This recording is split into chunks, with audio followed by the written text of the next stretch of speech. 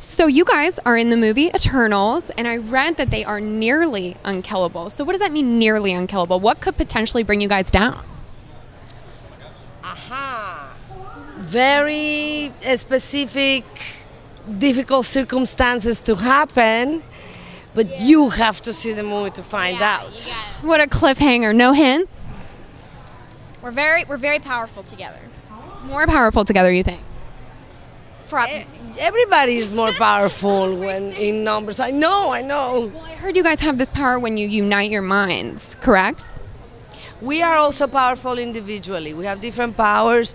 I, I have the connection with the celestials, and uh, I have the power to heal. And I'm kind of the leader that brought them to um, to this planet, and tell them about your power. I can create illusions, and Ooh. that's really What kind of illusions? Optical? pretty much. Well, yeah, like I All can kinds. I can change your what to what you're seeing to whatever I want it to be. Basically. That would be a heck of a power. And what would you guys have if you could create your own superpower? Probably the same that Sprite has. It's pretty interesting. All right. Well, congrats, guys. Have-